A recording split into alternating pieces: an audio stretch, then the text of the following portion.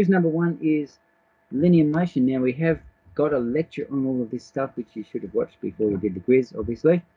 Um, but out of that lecture, there's two things you really need to remember, and it's pretty uh, simple procedure for doing all the questions.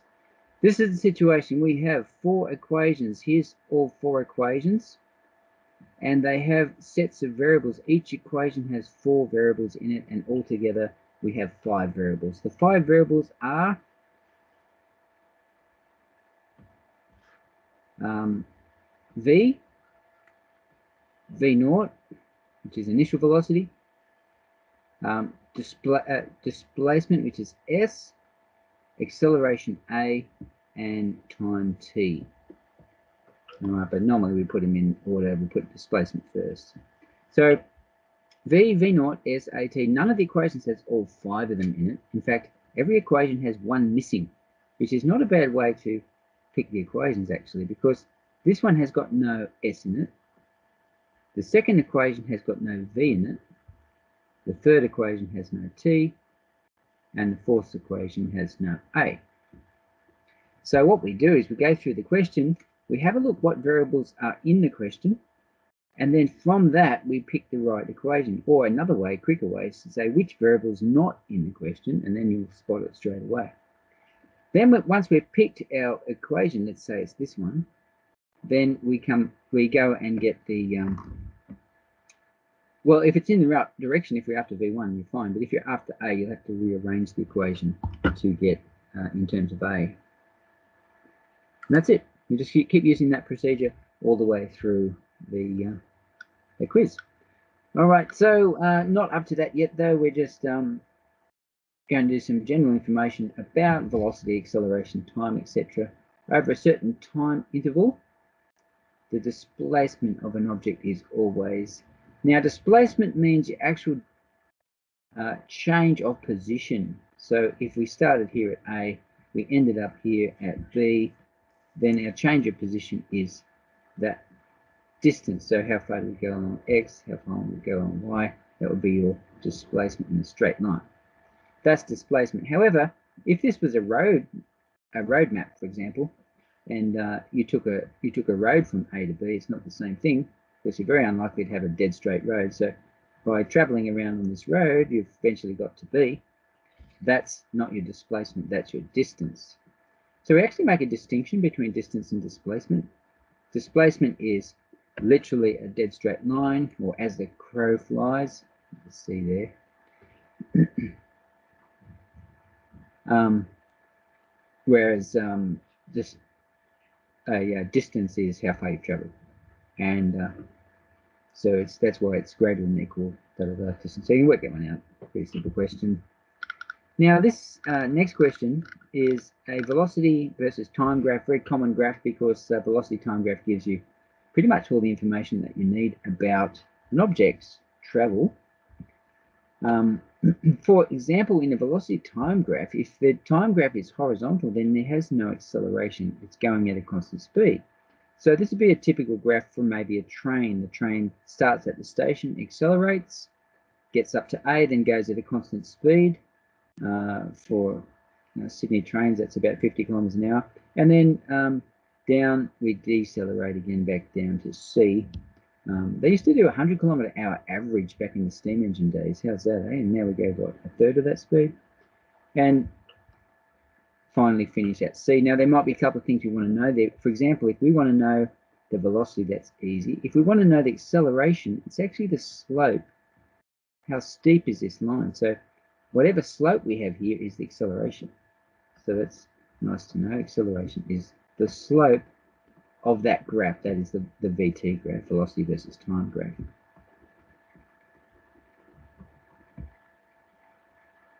It's a long way behind. I don't know what it says though. Uh, I'm going to turn my video off. I think it will speed me up.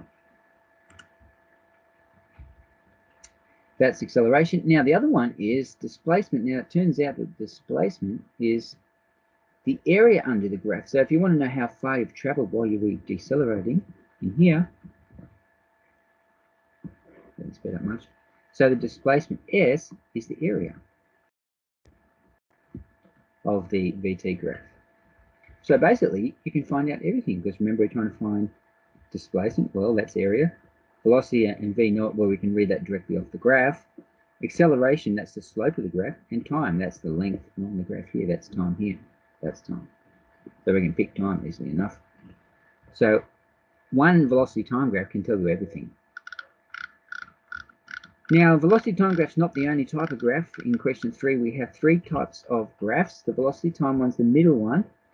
The bottom one's displacement time, the top one's acceleration time. And these graphs are matching the same object. So the object is slowly increasing, as you can see in the velocity time graph, which means the acceleration is a constant. So if the acceleration is constant, then velocity increases in, as a straight line.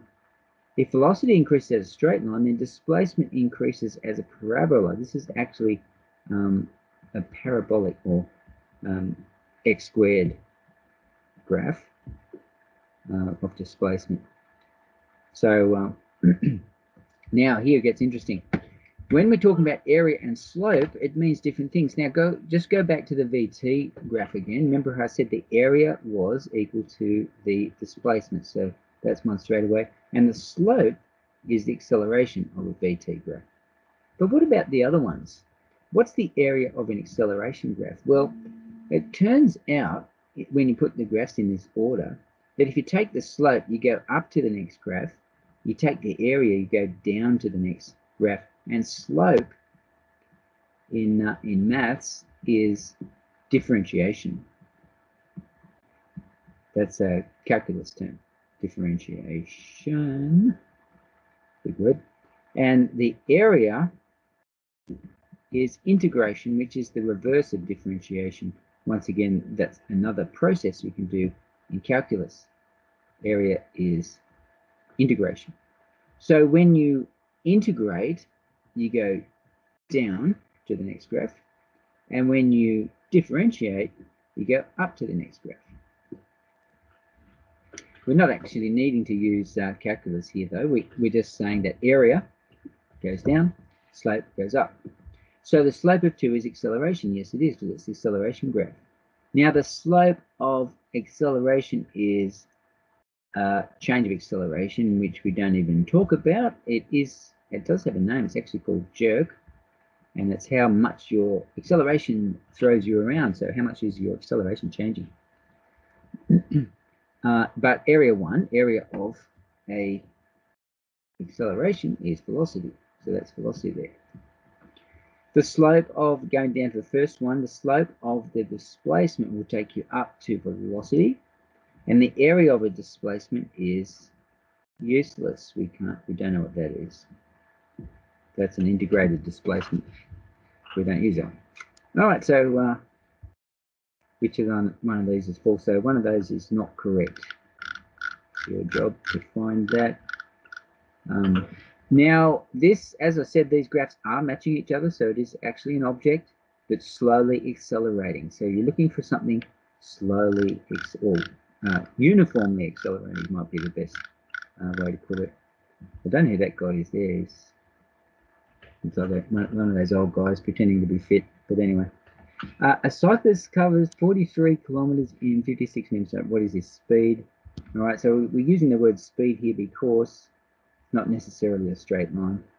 So um, it's just using the basic um, definitions of uh, linear motion, which is this, this bunch here. I'm going to grab these.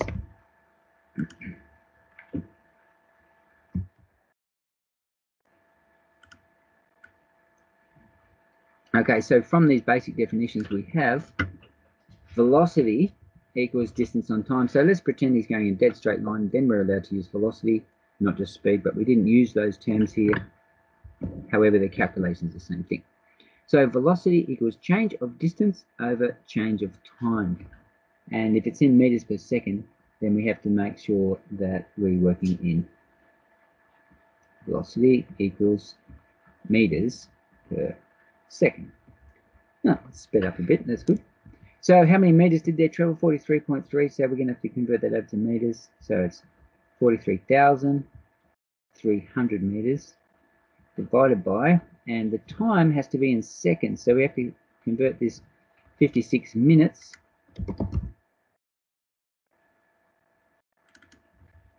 over to seconds.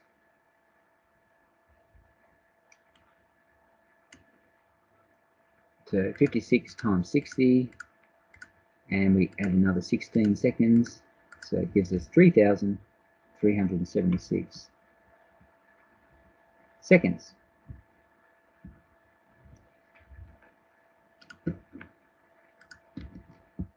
Forty-three thousand three hundred divided by that seconds is 12.82. And I forget that's in meters per second. I'm going down to four there. Probably really should be staying with five, so eight to six there. You want to be on the safe side? How about use five significant figures? Four is um, only just making it for one percent. 12.86 meters per second. What about what are our choices eh, on the uh, on the answers there? Because we've got to make sure that this will comply with our units. So if we just go down to the question, we have now we do have meters per second and we have kilometers per hour, so we could use either one. Let's just look at it that look at that in kilometers per hour just to because uh, we don't really know what meters per second are very well. Oh, I lost it. That's cool. 12, 8, 2, 6. Um, to convert to uh, kilometers per hour, just times by 3.6. So um, uh, 1 meter per second is 3.6 kilometers per hour. So multiply that 12 so, um, into kilometers per hour, we get 46.174.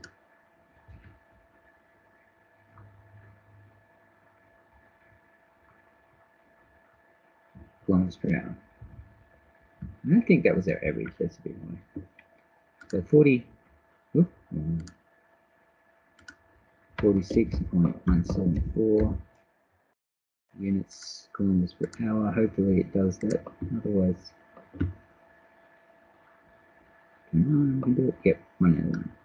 Let's check up here uh, in that little one out of one if the arrow tick doesn't come up.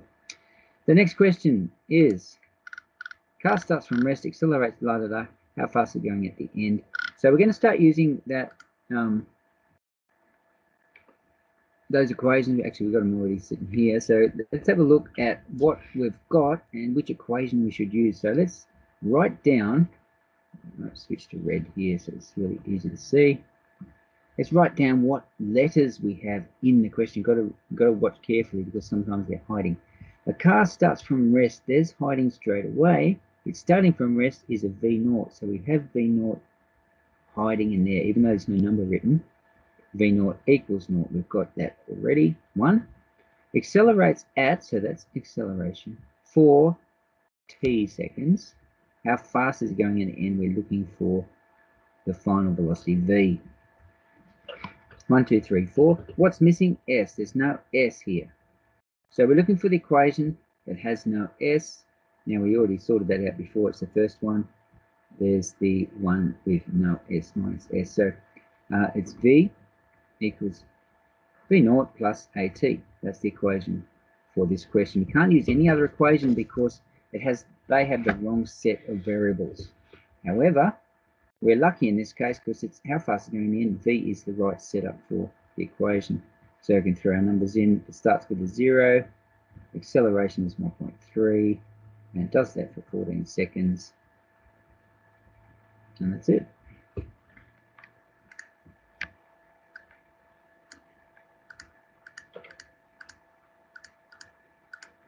Eighteen point two meters per second.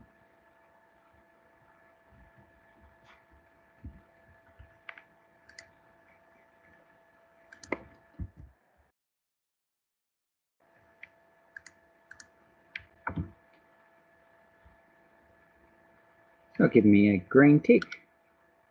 rough. All right, got to check up here. Yes, we've got one. All right, next question. So you notice how we did that? We go through the question, we look at the variables, and then we see which equation has that set of variables, the same set of variables.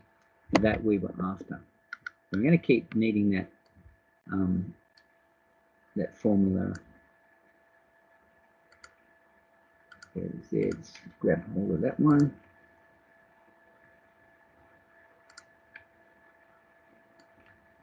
Going to steal this.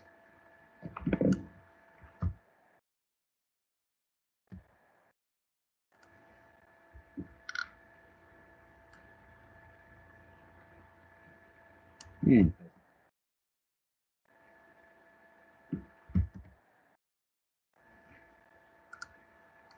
I'm going to be using this all the time. You know what? I might as well post a few of them.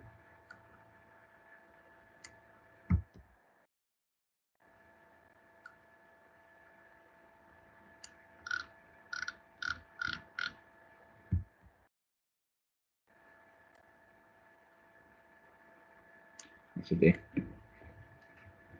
Question seven. The maximum traverse speed of this route is da da da, acceleration da, how much time will it take to get up to full speed? All right, here we go. Once again, exactly the same as we did the previous one, find the variables. Maximum speed is, so that's your final speed. Acceleration. How much time we're after the t, that's the question mark, to get up to full speed. That's only three variables. What's going on? We're missing one. So sometimes you have to read into the question, think, okay, now if we did a VT graph, what we're talking about is accelerating up to full speed. So how long did this take? That's the question. And that's velocity that way. So this is our acceleration period. So implied in the question is a V naught equals naught. So it's starting from rest, obviously, but um, you actually have to imply that in the question. So how much time would it take we end up, we haven't got S again, we end up with the same equation as we did before, V equals V naught plus AT. However, this time we're not after the V, we're after the T. T is the target. So we have to change this one around so that T equals, so we have V minus V naught on this side equals AT. Now we divide by A, so T equals V minus V naught over A. Throw the numbers in. 740 now 740 be careful that's millimeters per second. We should make it meters per second so 0.74 meters per second minus nothing over the acceleration which is in meters again 2.8 meters per second. And that gives us 0.74 divided by 2.8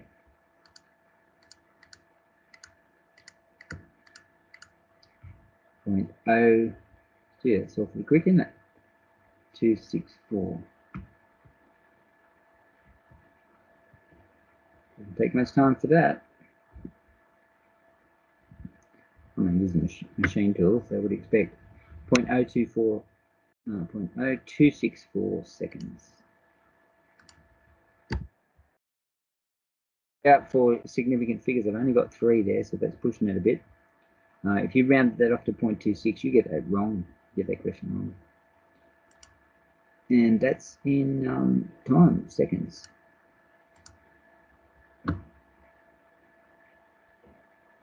And we got zero for that. That's good, isn't it? 740 millimeters per second. What's going on? Yeah, we're dividing by 1,000 what about B, which is vertical acceleration.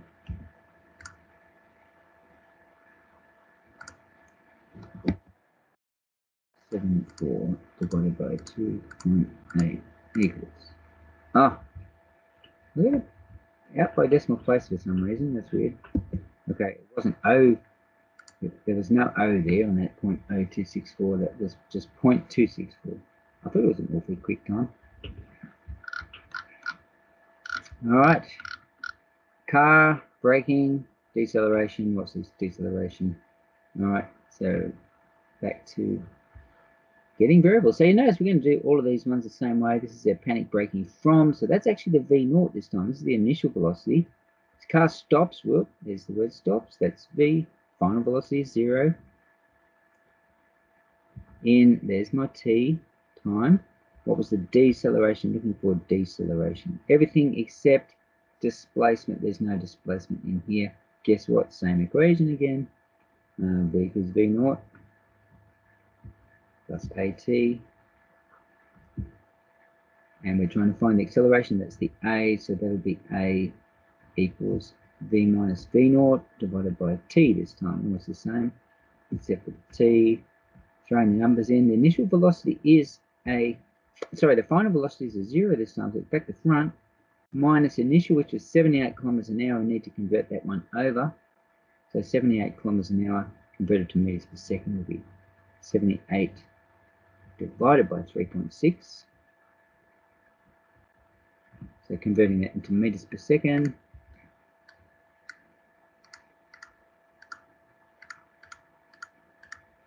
We got 21.6 six repeater meters per second.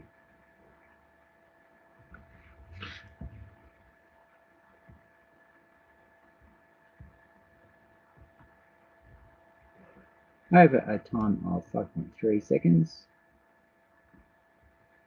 And that gives us a negative acceleration, which is correct because negative acceleration means that you're slowing down rather than speeding up. So it's a 21 divided by 5.3, 4.088.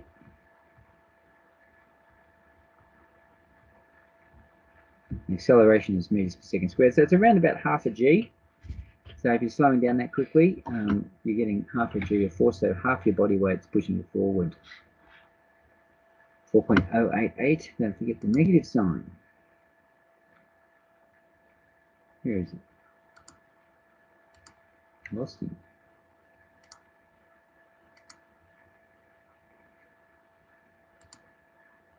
Oh, it's everything now. That's why. negative 4.088. And the units there is meters per second squared for acceleration. Good. All right. Interesting little question. This one going uphill and then coming back down. What's the average speed? So going up the hill at 18 kilometers an hour, coming back down at a nice fresh 64. What's the average speed? Well, guess what? The average speed is not halfway in between because the problem is you spend more time at the 18 so that you can only do halfway if it's the same amount of time at each speed. So our average speed is actually going to be closer to the 18 than to the 64. So the only way to do this is to work out what the time is and then work out average speed. So we actually have to split this into two questions. So it looks something like if you did a VT graph, basically split into two questions, work out the total time. So let's get the time it takes to go up the hill. So up the hill we've got uh, we've got distance, um, average speed, so that's a v, and we're trying to find time. Now this is not actually requiring requiring us to use one of these equations. We're just using the basic definition. So velocity equals distance on time. That's it. And we're just trying to find t. So time, put time over this side, and then put velocity underneath. So time equals displacement over velocity.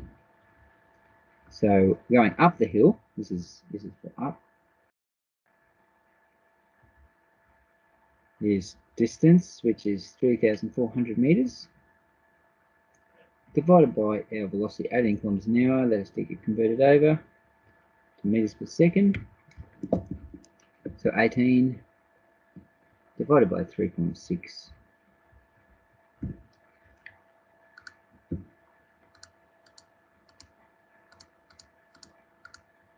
is 5 meters per second.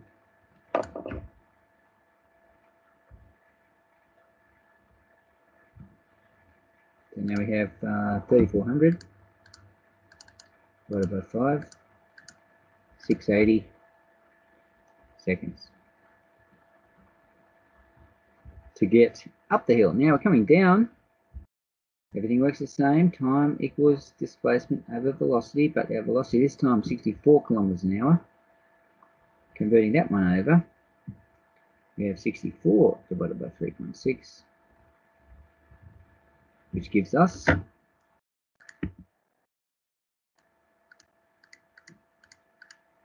Seventeen point seven and that's now meters per second.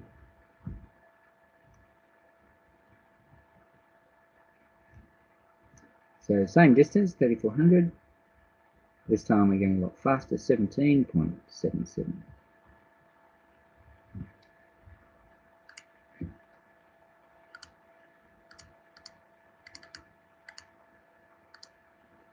So it took uh, 191.25 seconds.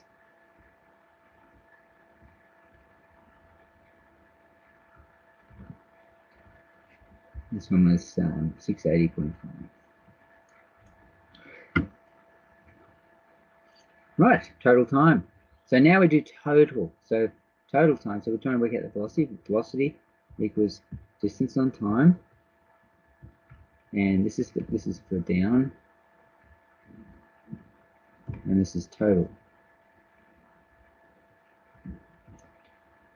Distance is now 3.4 doubled, so 6,800 6,800 meters divided by total time, which was our 680.5 plus 191.4, which gives us 191 plus 680.5 6800 So 7.8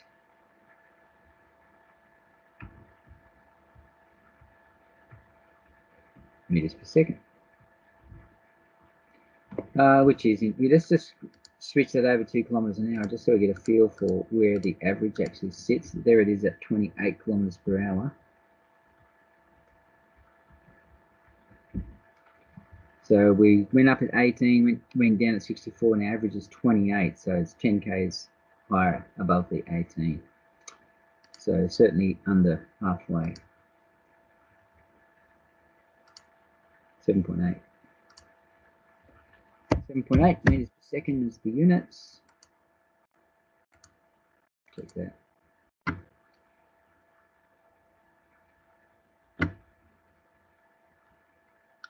That's um that's narrow neck, I think, that photo. Car was traveling 65, it sped up to 80. What was the acceleration? Fairly easy question. Next one. Using those equations again, still on the screen. Car's traveling at 65, right? So that's your V naught. It sped up to 80, so that's your final velocity. There's your time. What was the acceleration? A. So that's going to be A equals V minus V naught over T. I think you can do that one. Next question, panic braking. It stops in 5.4. What's the braking distance? Right, now we've got an S. Haven't had one of those yet, so, or not much. 75 kilometers an hour, that's your um, initial velocity, and it stops. There's our final velocity in T seconds. So everything except A. The equation that has no I in it.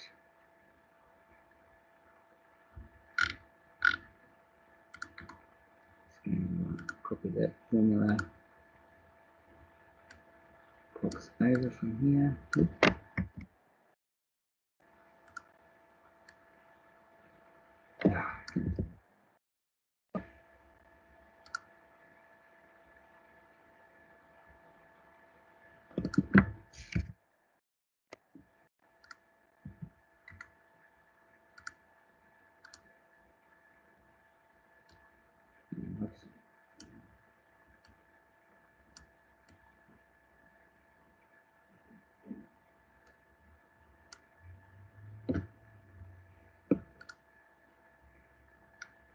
Right, which which one are we using? The one that has no A. So the one with no A is um,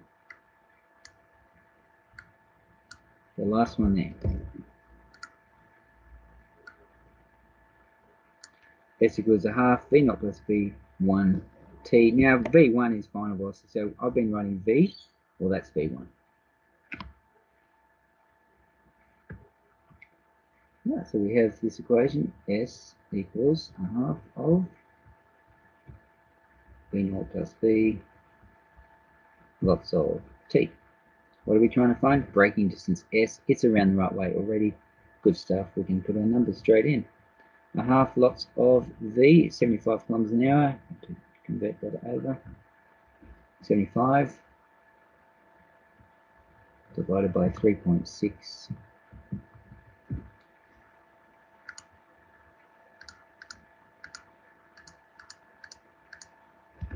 20.83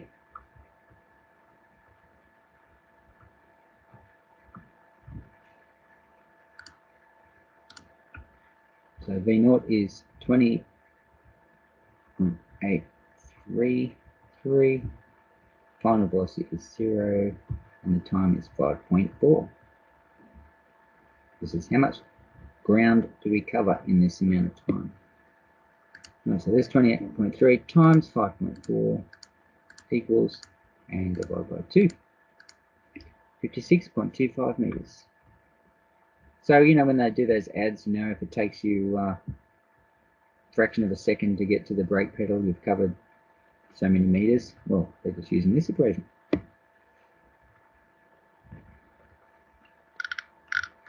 Uh, better check that. 52.25. See how we went here.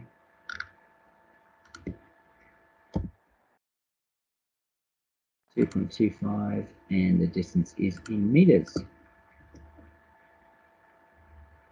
We got zero. That's good, isn't it? What did we get zero? 52.25. 56.25. Where did get the 2 from?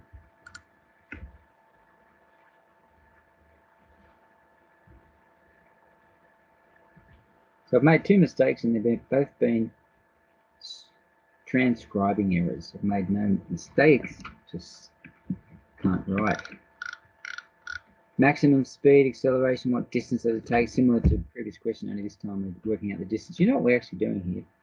In a graph, traverse speed, acceleration, da da da. So it's the same as before. It's going up like a triangle our VT graph. Here's velocity.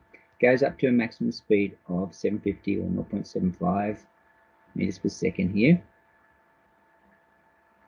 Right? It's accelerating. That's the slope of the line. And when it says what's the distance, you know what it's actually asking? It's actually asking what is the area in that graph. Right, we've got our time here. Now, if you want the area of a triangle, right, You've got the velocity, you got the height of it, it's actually a half of the velocity times the time, right?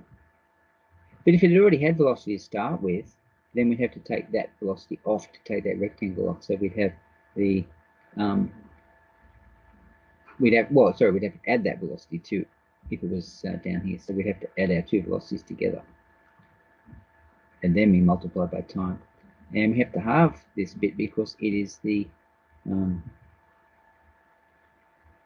um, because triangle. If it's triangular shape, then the area is half. So guess what that is? That's the formula. That's the same formula as we just had listed over here. So it just comes from uh, working out the area of a triangle. Once again, we have no uh, final velocity, so we can chuck that bit, throw the numbers in, 1 half, final velocity 0.75, times the time, oh, sorry, acceleration. You know what? I just used the wrong formula. This is no good here because we're being told acceleration what distance that is. What distance? We've got acceleration, we've got v and v naught. So the thing we don't have here is time. So this is the equation with no time. Which one is that? It's the third one. v squared equals v naught squared plus 2as. We're trying to find the distance, which is the s, so s equals v squared minus v naught squared all over 2a. Better say uh, wrong here. Wrong equation.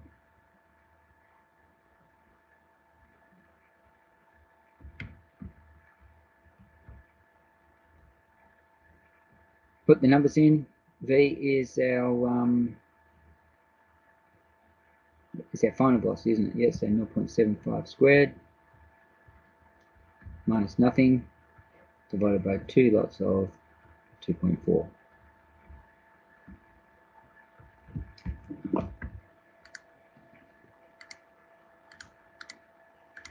One point seven five squared divided by two divided by two point four. One one seven one nine meters. So 100 millimeters. Probably should accelerate a lot quicker than that, shouldn't it?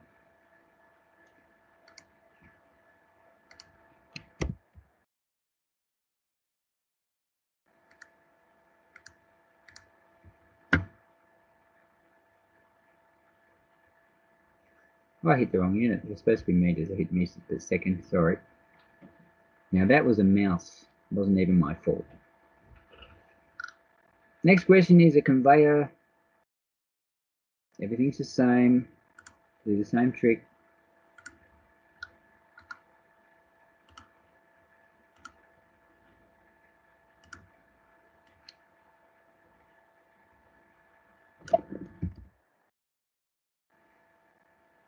Sure I did that right. Must be that one.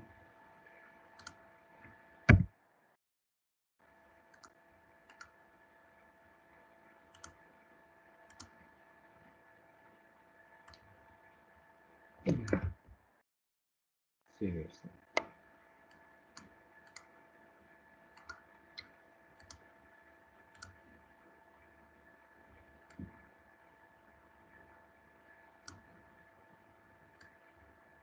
All right.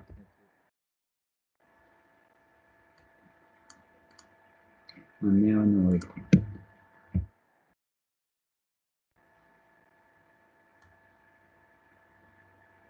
Very well.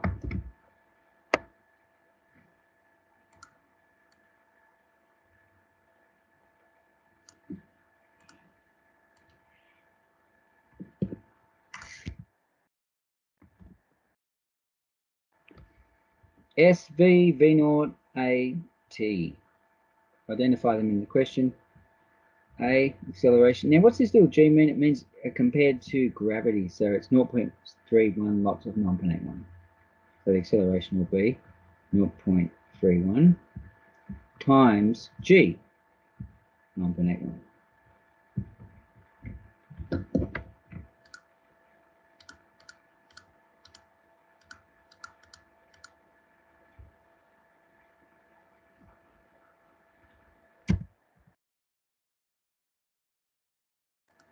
Gives us 3.0411.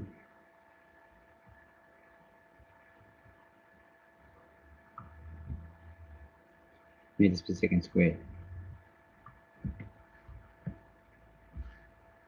Not a six, that's a zero there. One down, that's acceleration. Maximum speed, that'll be a V, reaches the maximum speed and continues for 12 seconds and decelerates. So what's the total distance? Hmm, okay, this is an interesting one. Let's have a look at our VT graph again.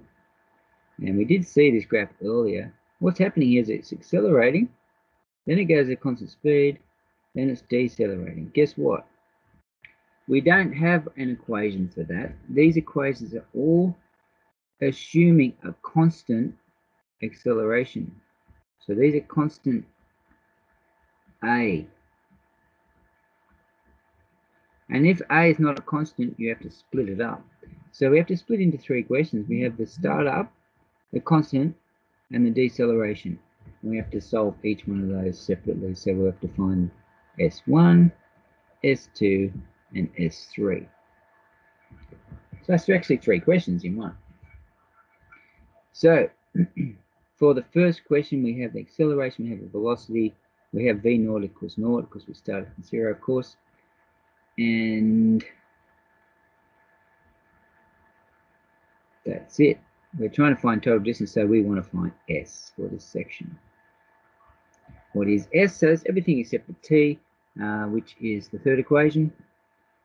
So uh, S, we're going to be using the equation around this way all the time.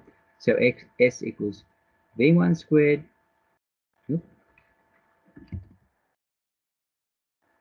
V1 squared minus V naught squared suppose I'm not calling it V1 anymore, I'm just calling it V. To be consistent. Um, over over 2A. And this is for section one of the of the um, travel. All right, final velocity is 2.4. initial velocity is zero and 2 times acceleration is 2 lots of 3.0411.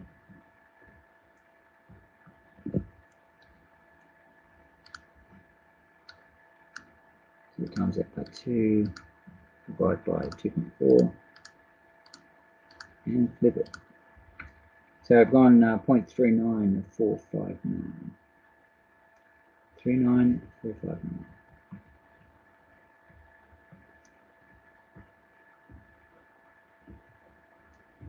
meters for the acceleration.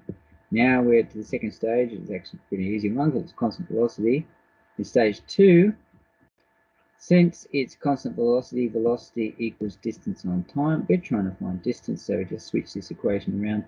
Distance equals the velocity times time. And the velocity is 2.4. And the time is 12 seconds.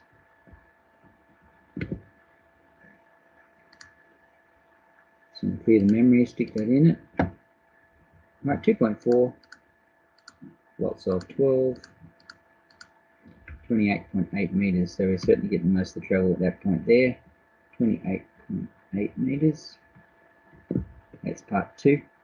And part three, which is the deceleration period. Uh, back to the same equation we used before. S equals v final velocity minus initial velocity all squared over 2a.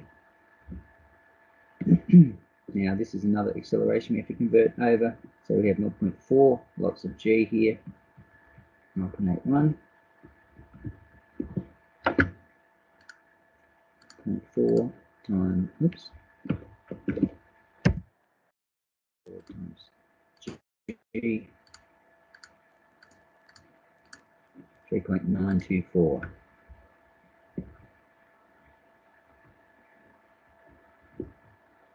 meters per second squared.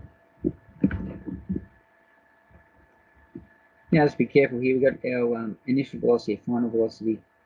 Um, the initial velocity here is um, the same, the speed that we're going, which is 2.4. So it's 2.4 squared.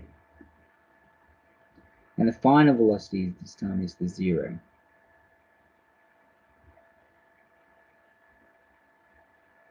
Oops, final v squared final. That's it. So the initial velocity is the squared.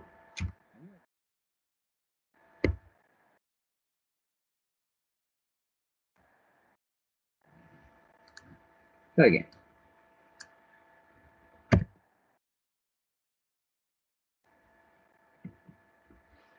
So final velocity is zero.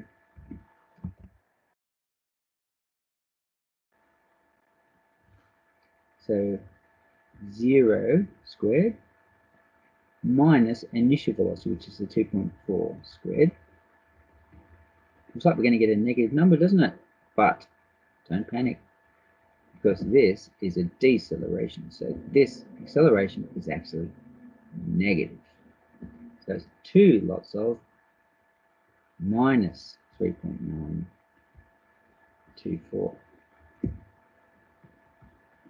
0.924. Right. Is that 3.924 times 2? Alright, that would be negative, but I couldn't be bothered because there's a negative on top and bottom. They cancel each other out.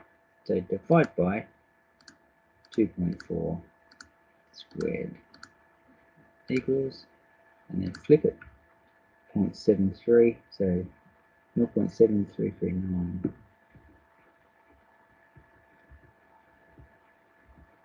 meters. Now it's a little bit uh, silly here. We've got um, you know five decimal places, and we're going down to microns or something here in uh, acceleration, but only 28.8 here. A bit rough there on that second one. Um, all right, add those three together. So there's our to a million decimal places. For that third one, we're going to add the one that we had in memory, which is our first one, 39. And we have to add 28.8 as well. Gives us 29.929. So add all those three together. 28.929 meters.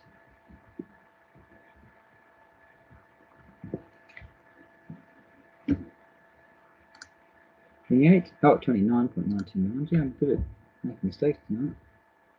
Twenty-nine point nine nine meters. Say, oh.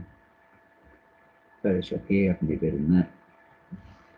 Twenty-nine point nine two nine.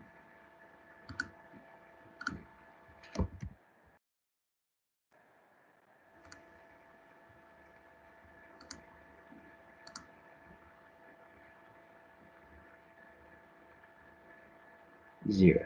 Come on. I couldn't have got that wrong. I did that really well. Don't you hate it when you go do all that math and you don't even get it right? I mean, what a waste. I want my time back. That's when you go, ah, stuff this. I'm going to use AutoCAD. To draw this graph up in AutoCAD and work out the area. Isn't that what that just told me to do? What is the total distance? That's the area under the graph. So if I draw my velocity time graph the same as this and use all the uh, numbers in here, then the area in there should be. So um, starting off with the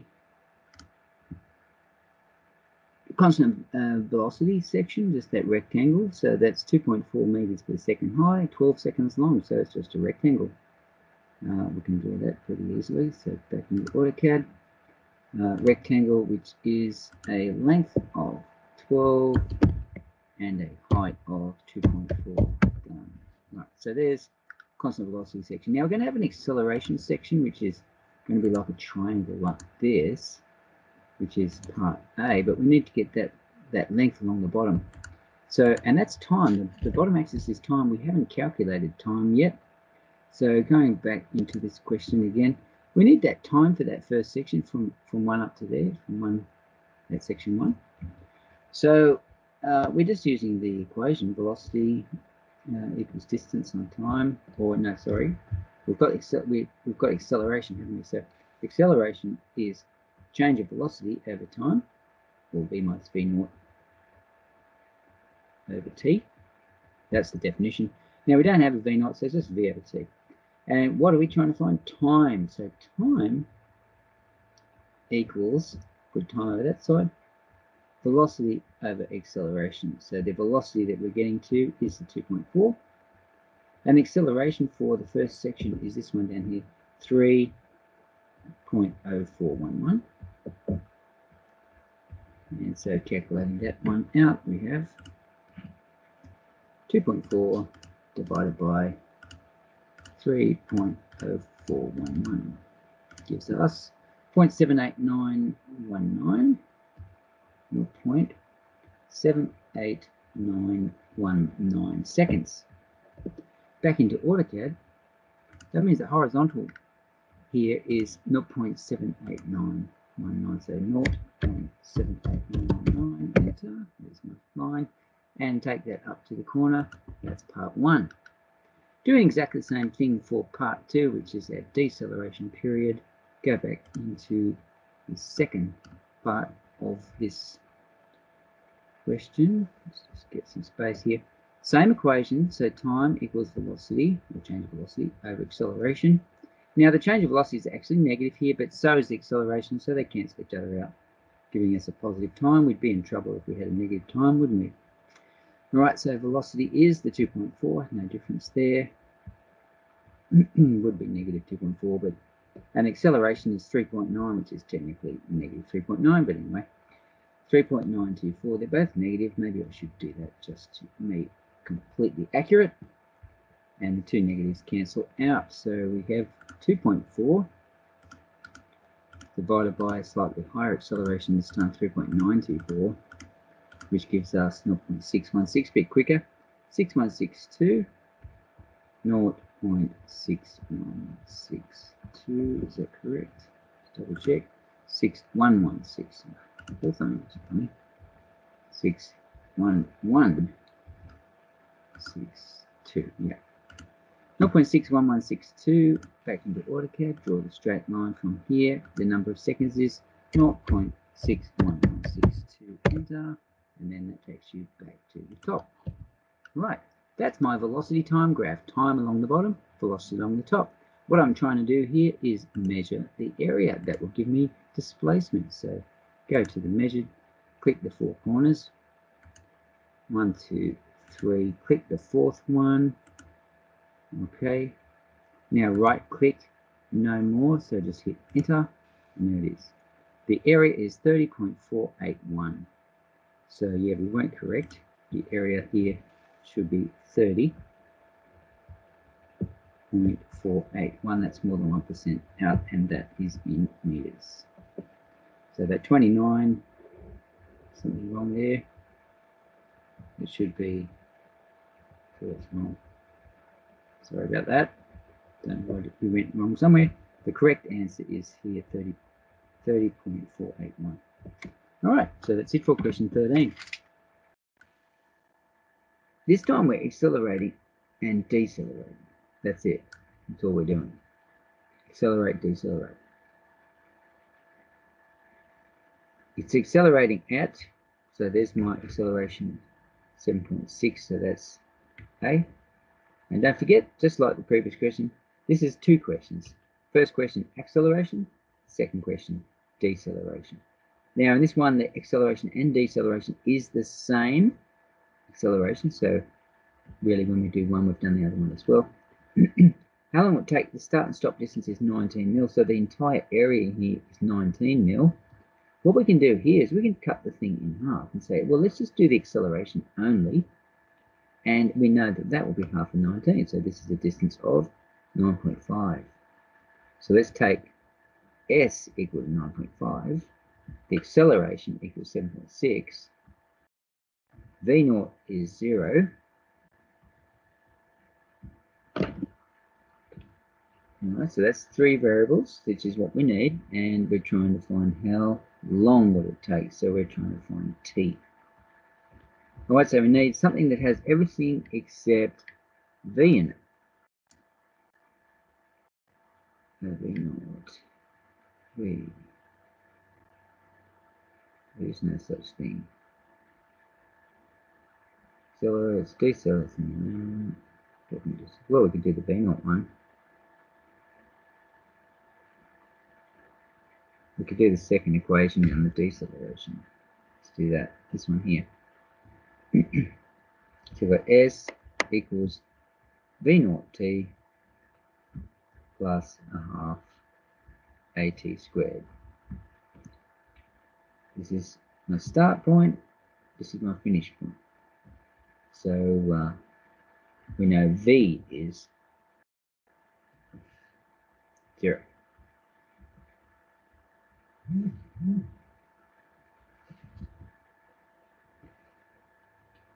Okay, now V naught was our initial velocity, which was um,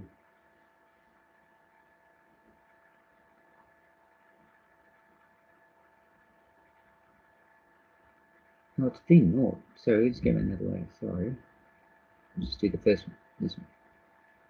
From one to two. One to two. V naught is zero, so that cancels out. Uh, so we've got a half times acceleration 7.6 times time, which we don't know. And the distance is 9.5, but in meters it's 9.5 divided by 1000. So the t that we're after is um, 2s over a square root.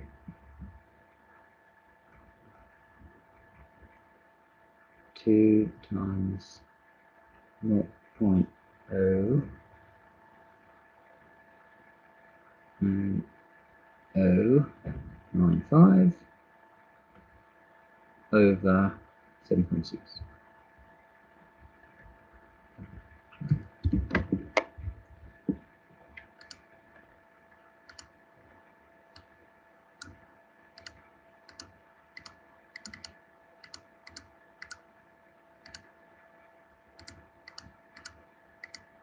square root 0.05.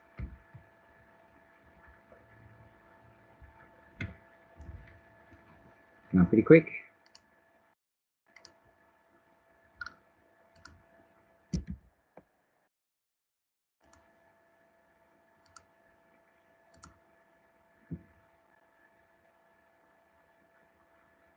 Hmm, good job we got that wrong too. Oh, that was silly. We're supposed to double all that because don't forget I need half the question.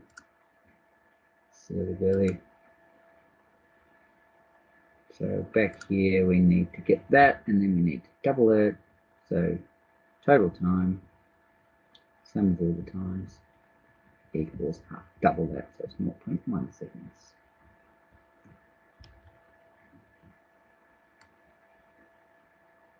Car starts from rest, what's the velocity end? That's a pretty standard one slope, what's the time taken? um,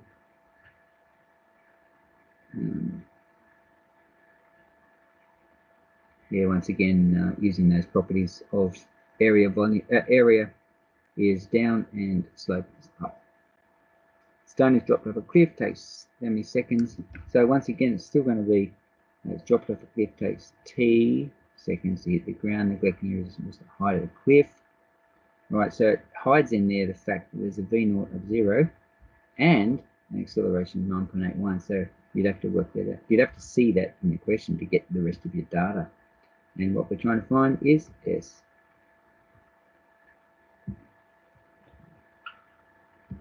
So we've got S equals V naught T plus a half AT squared. There's no V naught, so that's out. So it's just a half lots of 9.81 times 5.3. So you want to do this roughly off the top of your head when you're standing at a cliff. Um, it's a half of, and that's approximately 10. So really it's just your time, square it, and then times by 5, roughly, will give you the height of cliff. So I've got 5.3 seconds 5.3 squared times 9.81 divided by 2. 137.78 meters high. That looks about right for that cliff, think. 137.78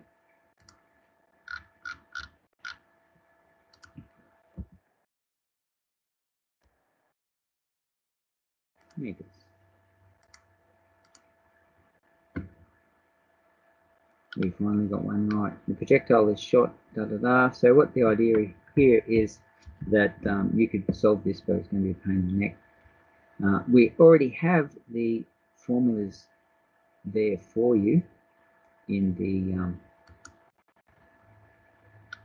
linear motion. So go to the linear motion chapter. Um, we talk we spend a bit of time on those four formulas that we just showed you. We're going to end up tabulating them there. Uh, so you can use them all the time. Talking about the graphs, which we've done. Uh, there's an example of a graph one. Then we start talking about free fall motion, which just did a cliff where acceleration is g. Then trajectories when you are not only going against gravity, but you're also traveling. And we have three equations here for trajectory flight, which is a parabolic flight.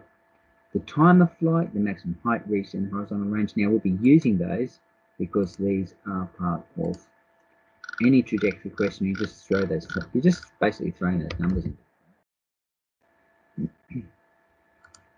So here we are with those formulas. Let's pick the right one. Take a little bit of care though, because um, there's a little trick here with the sine squared versus the sine 2 theta. We'll, we'll see that when we, we start using those. Projectile is shot.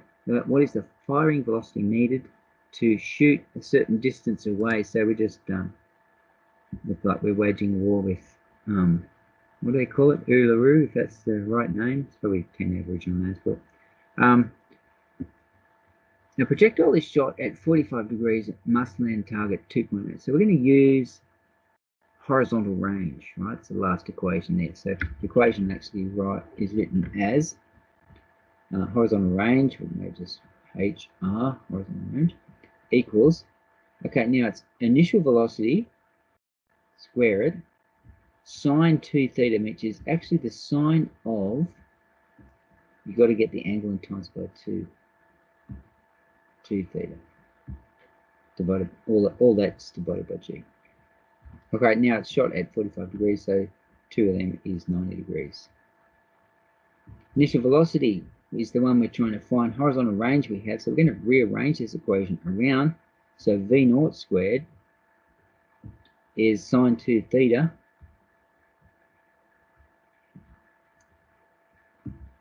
over G, and we also have to divide by horizontal range underneath there and it's squared so we have to take the square root of the whole thing to get rid of the square.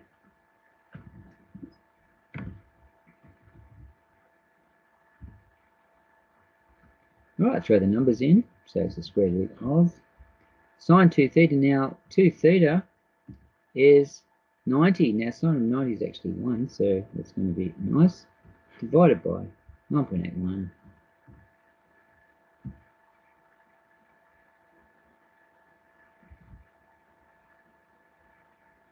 v naught squared plus that thing makes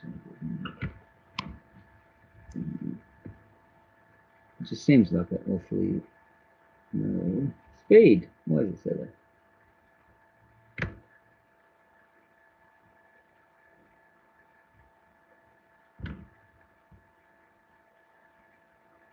Oh, silly me. That's wrong.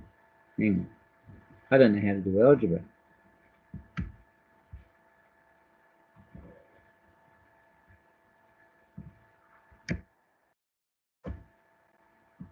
Let's leave the V naught on, on that side.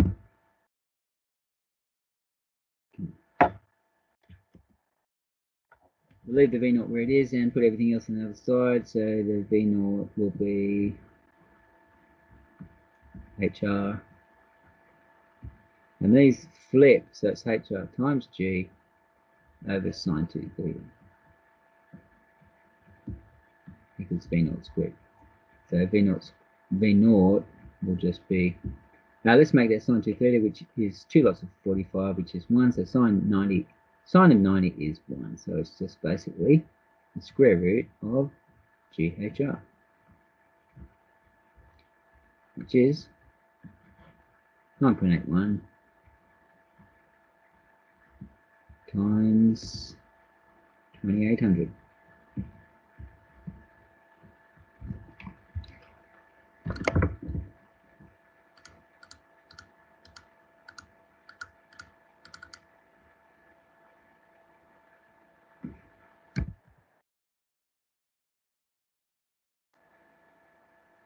And take the square root.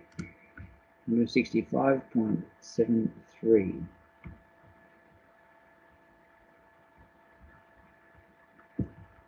meters per second, 165.73.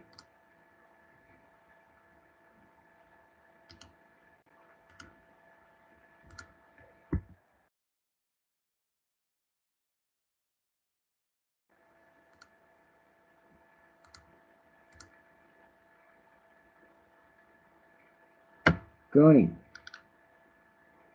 Um, what's the firing angle, blah, blah, blah. It'll be the same equation again.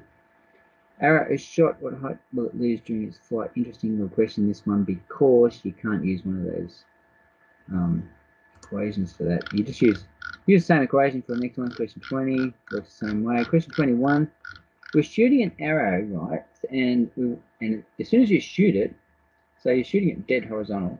As soon as you, the, the second that you shoot it, it's starting to get down. So it does that, it's sagging. And when it gets to the final target, it's dropped by a certain amount. Now, the way you solve this, in fact, the way those equations were created in the first place, is imagine if you were watching this from above, right? So you watch the, the uh, I'll do this in, sorry, this isn't third angle projection, but if I watch the arrow from above, what do I see? I see the arrow travel along in a dead straight line. I don't see it dropping at all because I'm directly above. So that's the top view. And what is it actually doing? Constant speed. So it's a constant velocity, assuming that the air is not slowing it down. And when I do the side view, what do I see? I see the arrow starts here and it drops down. It's getting lower and lower. So what I'm seeing from the side view is exactly the same as if I just dropped a rock off a cliff. So constant velocity from the top view, but accelerating or dropping like a stone from the front view. Right, now we're going to use that trick to work this out. So we've got horizontal, horizontally, it's going 350 kilometers an hour and it's 111 meters away. So there's my velocity, this is my distance, and I'm working out time. So velocity equals distance on time. What am I trying to do? Time. So time equals distance over velocity, which is um, 111 meters over, we go convert this one, 350 kilometers per hour divided by 3.6 be about 100 meters per second so 350 divided by 3.6 97.22 meters per second.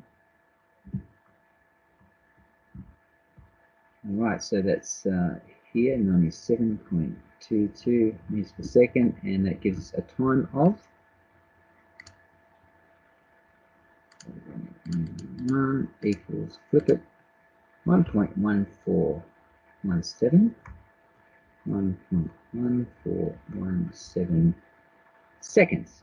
Right that's how long the arrow takes to hit the target. So when we're looking for the top view we start the stopwatch here and hit the stopwatch there it's done it in 1.14 seconds but the same with the front view it's also done this in 1.14 seconds so I actually know the time for this one because 1.1417 seconds. Great. I also know the initial velocity from the front view is a zero because it's like I'm dropping a rock.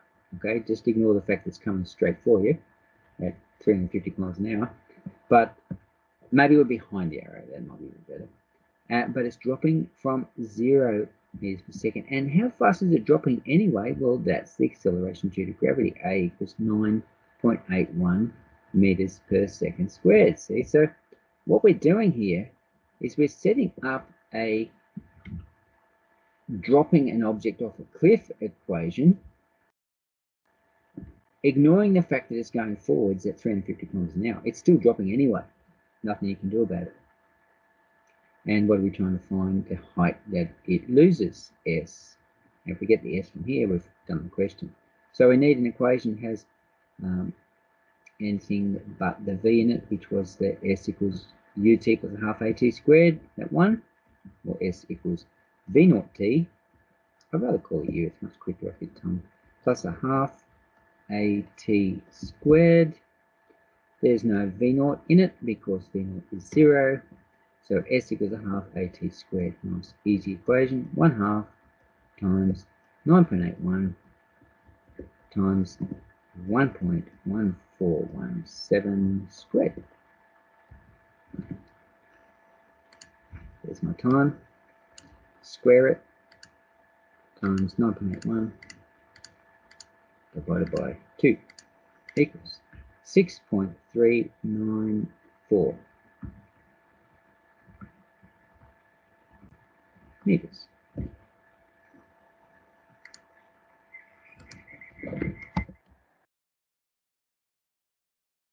Horizontal, it's going to drop 6 meters. Um, that's uh, quite a bit, isn't it? That's why you have to point it up a bit to take account for how much that you lose. Let's see how we went with that question. There you go. And the very last question in the quiz is a one way you could measure the acceleration due to gravity. So here we have a tube which is got a vacuum in it, so there's no air resistance.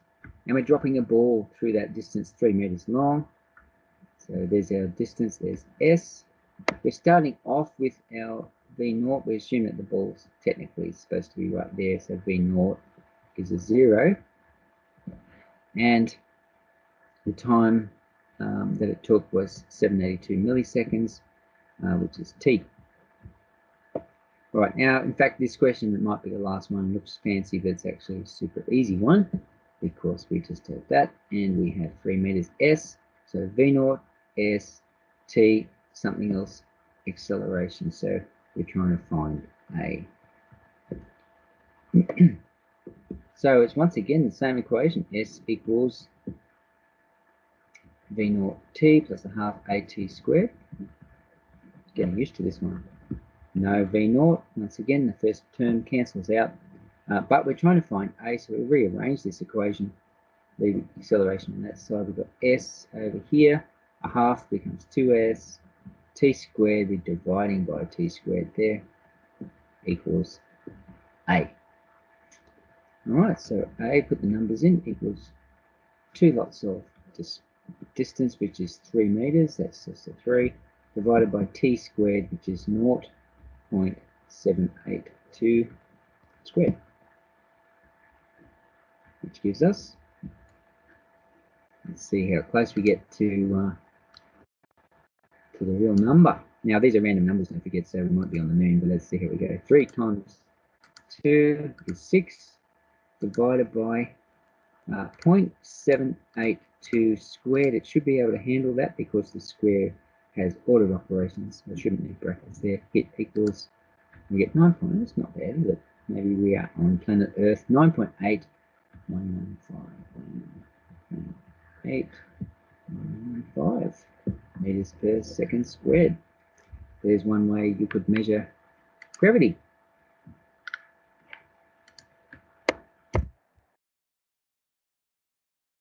Gee, you could probably have gotten away with that one just by typing the standard number in, eh? Don't try that at home. Meters per second squared. Check. Look at that, one out of one. And that is pretty good timing, considering that's the end.